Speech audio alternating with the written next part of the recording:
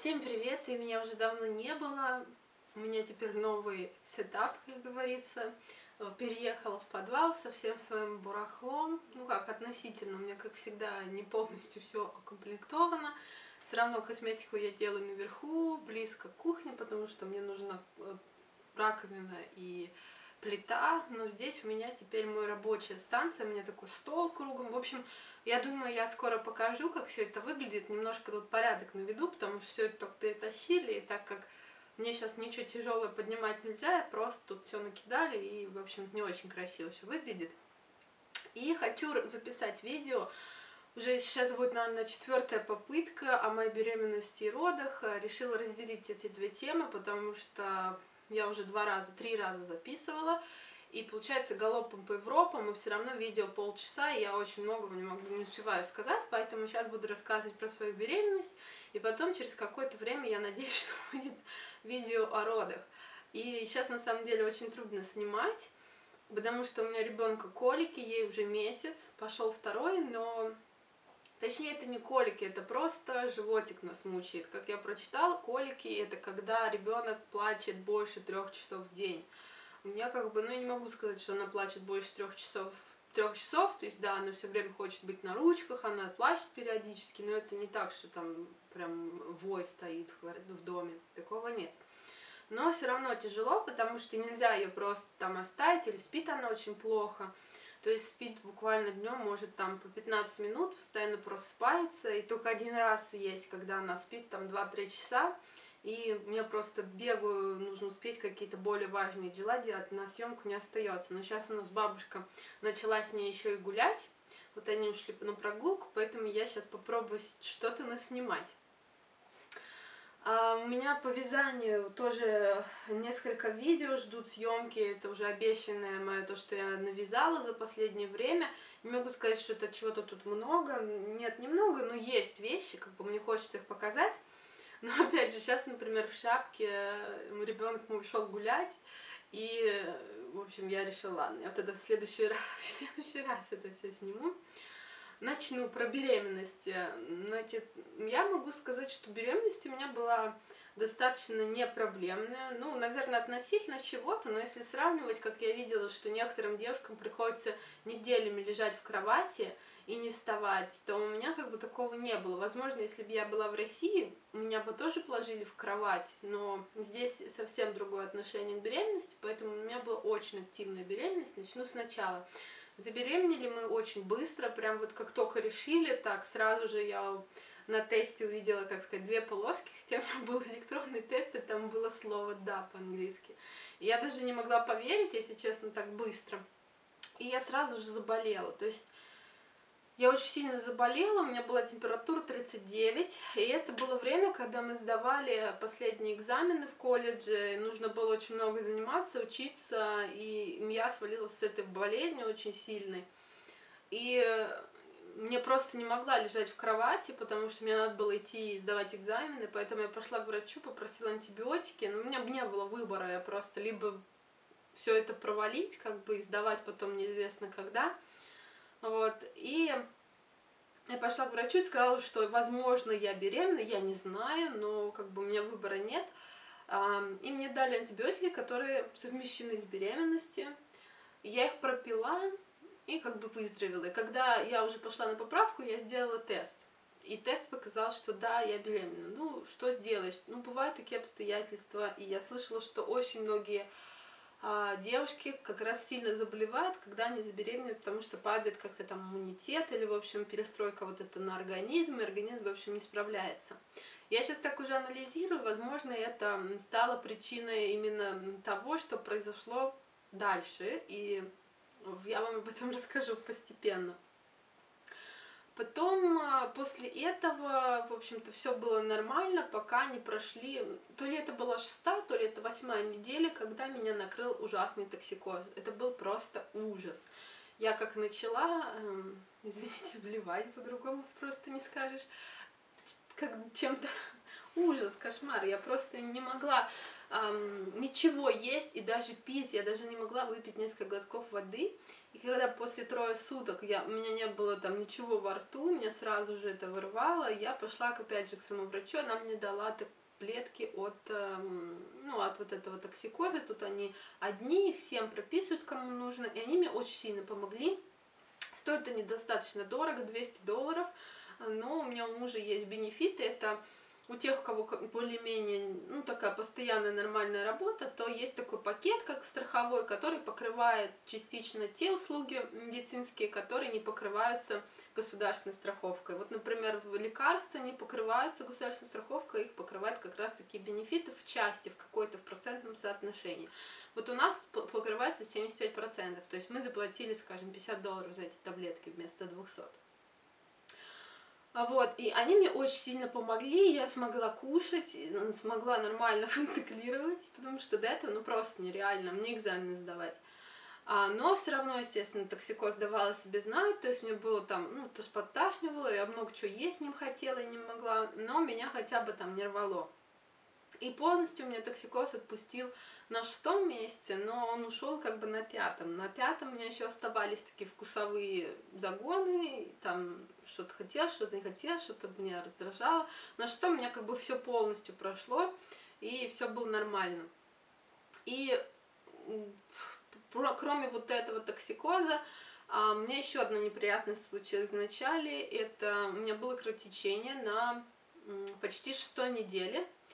И оно прям случилось, когда я пошла к врачу и пришла, вот буквально вышла из машины, чтобы зайти в, боль...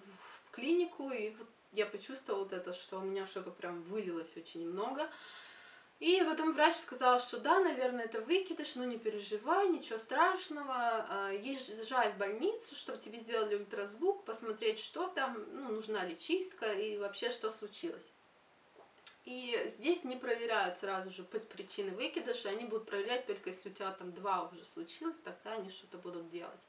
И она мне также сказала, что ну, месяц передохните и пробуйте опять. Кстати, что самое интересное, по-моему, если я не ошибаюсь, вот сколько я видео смотрела, в России, по-моему, рекомендация, что можно следующего ребенка только через год заводить.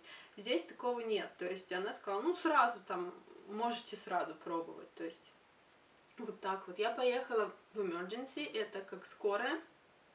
И э, чтобы все кончить обследование, э, я приехала в 10, уехала я в 7 вечера. И это еще неплохо. В канадских больницах очень большие сроки ожидания, буквально на все. А, если только ты совсем не при смерти. Например, приема дерматолога я ждала 4 месяца. А здесь же я просидела, по-моему, два часа, прежде чем меня зарегистрировали. Причем ты приходишь, и ты первым делом сообщаешь, с какой ты проблемой пришел. То есть они знали, что у меня прямо сейчас а, идет, ну я сказала, что у меня выкидыш, да, то есть у меня кровотечение. Они знали, в какой я ситуации, и а, с этим кондициями меня продержали два часа только, чтобы зарегистрировать, потому что они, видимо, решили, ну, у нее же уже случилось, смысл ее там сейчас принимать, есть более, видимо, важные люди. А, через два часа они меня взяли кровь, еще там, по-моему, через два часа они меня сделали первое УЗИ, которое ничего не показало, потому что был очень маленький срок, и мне нужно было внутривагинальное. И, в общем, в итоге еще там через два часа они мне его сделали, и оказалось, что плод на месте, у него бьется сердце, и это просто внутреннее кровотечение в плаценте, и они не знают почему, и, естественно, никто ничего не будет выяснять. Мне просто сказали, что это меня в группу риска переводят в беременности. Ну и, в общем-то, больше ничего не сказали. И через два часа, я еще там два часа просидела, они мне отдали вот э, этот репорт, выписку, да, заключение. Вот, в общем-то, и все. После этого у меня никаких таких осложнений не было. Да, я опять иду назад-назад. Первый месяц самой беременности у меня было, если честно, странный. У меня были все время какие-то ощущения непонятные, а, у меня как-то болел живот, меня там что-то тянуло, где-то там кровило, и какие-то выделения были, и я думала, что я уже это не доношу. И как завершение, вот у меня вот на шестой неделе, получается, было вот это вот кровотечение, но все оказалось хорошо. После этого у меня не было никаких проблем. Всю беременность, в общем-то, я бегала, носилась, у меня ничего нигде не болело, не кололо, все было хорошо. А, и беременность я вела с мидвайф. Если вы смотрели мое прошлое видео беременности с мидвайф или с врачом, то, наверное, вы поняли. Но с самого начала у меня была такая особенность беременности, что мой ребенок был маленький, с самого начала, но в пределах нормы. То есть, когда замеряют матку, вот чисто руками и лентой, вот этой сантиметровой, да, то показывало, что мой ребенок находится в пределах нормы роста, но, можно так сказать, практически на нижней границе. И так было всегда.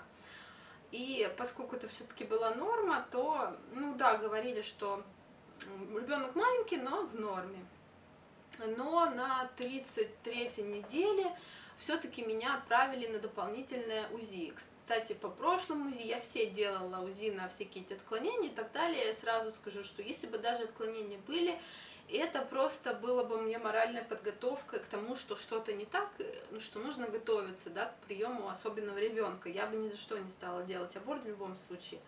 Ну вот, поэтому я их делала, просто мне так э, всегда лучше. Я не люблю встречаться с неприятностями внезапно. Я знаю, что люди любят некоторые откладывать до последнего, что они любят думать, что все хорошо, и лучше мы потом об этом узнаем. Я не из таких, я хочу быть э, как предупрежден, значит вооружен, чтобы подготовиться морально и вообще во всех планах.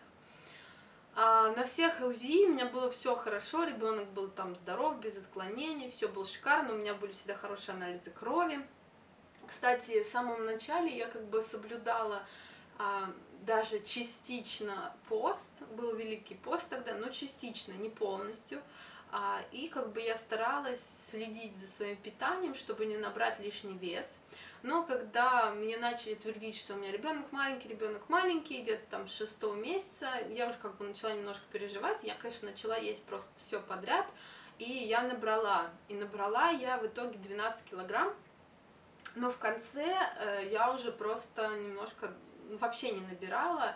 И уже старалась еще больше есть. В итоге я в конце прям хорошо так поправилась, и сейчас у меня 7 лишних килограмм, я как бы не, не, не стараюсь их сейчас скинуть, мне сейчас не до этого, мне надо грудью кормить и много молока вырабатывать, поэтому когда откормлю, я как бы не переживаю, быстро скину. А, 30 недель меня отправили на внеплановый УЗИ проверить, что ребенок, в общем-то, растет, потому что матка очень мало росла по замерам. И вот это УЗИ показало, что все с ребенком в порядке, он растет, но опять же где-то на нижней границе, то есть, э, но в норме. Я успокоилась, и все-таки мы почитали, что размер ребенка зависит все-таки от генетики, и в нашей семье, что у мамы, что у бабушки, дети всегда маленькие были, то есть у меня сестра родилась 2 800, я 3 килограмма родилась, у бабушки были все там что-то 2 с чем-то тоже, в общем, ну, решили, что ничего страшного. На 35 неделе я пошла, сказали, что э, матка, прогресс есть роста, но он опять маленький. Меня опять отправили на УЗИ, но прям за вечер до УЗИ накануне мне попалась статья о его вреде. Опять же, не хочу дискуссии сейчас на этот э, счет, пожалуйста, ничего не пишите. Это другая большая тема, просто скажу, что я сама не знаю, насколько оно вредно, но есть такие случаи, как с сигаретами с микроволновкой, которые очень долгое время считались не вредными, а потом оказалось, что они очень вредны, в общем-то, да, и даже убивают сигареты, по крайней мере. Также и с УЗИ прошло 30 лет, как его начали использовать, только сейчас начала появляться информация, что оно может вызывать перегревы каких-то там отделов мозга, которые отвечают за нарушение там речевого развития и даже аутизма. Ну, в общем, не хочу никого пугать, э, есть действительно оправданные случаи, когда УЗИ нужно делать, а, но я считаю, не нужно злоупотреблять и делать УЗИ просто так, потому что мне так хочется, мне хочется там, ну, в общем, я считаю, чем меньше, тем лучше. И меня уже это было бы пятое УЗИ, поэтому я подумала, что у меня всегда был ребенок маленький, всегда было отставание роста матки, поэтому смысл мне делать каждую две недели это УЗИ. В общем-то, я не пошла, отменила его и не пошла. Решила, что какой ребенок родится, такой родится. На 38 неделе я опять пошла к, к Минвайф, и мне сказали, что у меня матка вообще не выросла с прошлого визита. И опять меня отправили на УЗИ. Ну, в общем-то, тут я уже как бы немножко насторожилась, потому что если в прошлый раз все-таки был прогресс роста, то сейчас вообще нет роста. Я все-таки пошла на УЗИ, а, и УЗИстка сказала, что да, ребенок маленький, на 38 неделе, 2 килограмма 200 грамм, но анализ состояния ребенка показывает, что он 8 баллов из 8. То есть ребенок полностью счастлив, у него все прекрасно, он активный, и у него развиты мышцы, в общем, все как надо. Просто он опять же маленький. И она пошла, взяла результаты УЗИстка, и к местному доктору, который у них в клинике, она пошла за консультацией, и доктор посмотрел и сказал, что не видит никаких отклонений, что все хорошо, а просто маленький ребенок, такое бывает.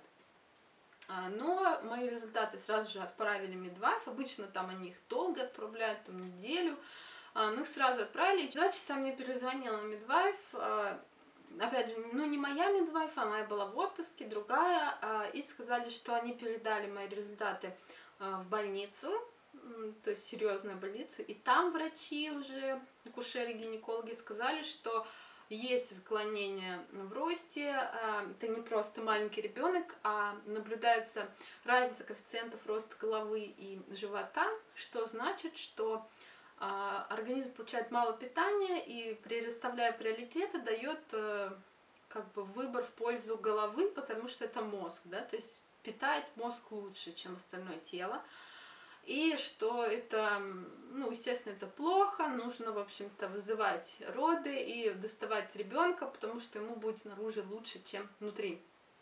И меня это был вообще шок, потому что я вообще не ожидала такого, такого развития, потому что я думала, что даже если у меня что-то будет не так, мне осталось две недели, они не будут ничего делать. Но э, мне сказали через час быть в больнице. Слава Богу, что у нас все было готово, мы все подготовили, еще на 35-й неделе у меня были собраны сумки или даже раньше, и даже заправлена кроватка. В общем, все было готово. А, и за эти мне нужно было полчаса собраться, и полчаса мы, ну, выезжать нужно было, да, я как угорелая побежала в душ, там мыть голову, себя в порядок приводить. У меня муж вообще не понял, зачем, давай поехали, там надо собираться. Я говорю, мне там неизвестно сколько торчать, я буду с грязной головой. Ну, в общем, да. Видимо, такие недавно рассуждали где-то в комментариях на эту тему насчет помывки головы, головы в роддом. Наверное, это все-таки комплексы, потому что эм, ну, есть люди, которым абсолютно все равно, как они выглядят, они себя несут как короли, да. А, ну, все-таки голова для меня наверное, имеет большое значение. Пусть я буду не накрашена, кривая косая, но хотя бы голова чистая.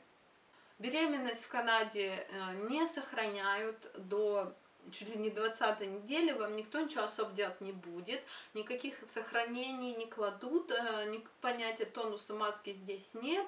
А, да, кстати, про тонус матки у меня он был где-то два дня, за всю беременность. То есть я чувствовала, что я предполагаю, что это тонус матки, потому что, ну, я без понятия. А, это когда у тебя такой живот, как мешок, и тебе очень тяжело. То есть вот я прям вставала, и я чувствовала, что у меня гиря какая-то привязана к животу. Я думала, что все, вот она, тяжесть беременности наступила. И это было очень рано, вот как раз на шестом месяце. Я думаю, ну все, если так мне теперь в 4 месяца ходить, я, наверное, помру. Но через два дня это закончилось, и я опять летала и скакала, прыгала. А, про изжогу у меня ее так и не было ни разу. Мне все, я не знаю, что такое изжога, у меня в жизни ее не было, и мне все утверждали, что вот с беременностью то ты хлебнешь. В общем-то, я ждала, ждала, и так и не дождалась. Я думаю, возможно, это связано с тем, что у меня вообще само туловище ну, такое длинное, вот этот отдел сам, да, у меня, как бы, я думаю, длиннее, чем у среднестатистической женщины. Может быть, просто вот эта а, кислота, поэтому вверх у меня не доходит, ей просто, она там, достаточно места, чтобы в животе сидеть, я не знаю. Живот у меня был небольшой, но у меня такое строение фигуры, что у меня большой изгиб в спине, и когда я надеваю а, вещь такие более-менее в обтяжку, все говорили, что живот небольшой, потому что видно, что вот по сравнению от сгиба, да, то живота, то живот маленький. Но если мне что-то надеть балахон, как бы, если смотреть вот фотографии, а, то изгиба-то не видно, и кажется, что даже вот как бы такое есть, но в то же время, когда я приходила куда-то, мне постоянно все говорили, о, а где твой живот, о, а на каком месте, то есть даже на последнем вот месте люди думали, что я на шестом, на седьмом месте. В больнице, мне врач, ну, я слышала, они с медсестрой между собой говорили, и врач сказал, о, она выглядит, как будто она на 27 неделе, то есть да, живот действительно был очень маленький, и этому не нужно радоваться. Я очень радовалась, что о, у меня маленький живот в начале. Но потом, когда мне вот эти все проблемы начались, и все мне твердили, что у меня маленький живот, мне это уже просто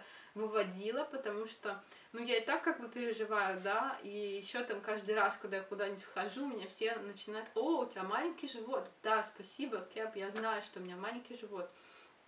А, что было, кстати, не так, когда нет, это я расскажу в следующем видео о самих родах. А, это уже сейчас не буду пока рассказывать. Все, спасибо всем большое за внимание. Если у вас какие-то э, проблемы, сейчас какие-то вопросы, то задавайте их в видео. Я, возможно, если их будет много, я соберу их и сниму какое-нибудь видео ответное. Не буду отвечать в комментариях, потому что это будет я уверена, большие вопросы, нужны развернутые ответы и все такое. У меня просто нет сейчас на это времени. Все, большое спасибо, увидимся в следующем видео, пока.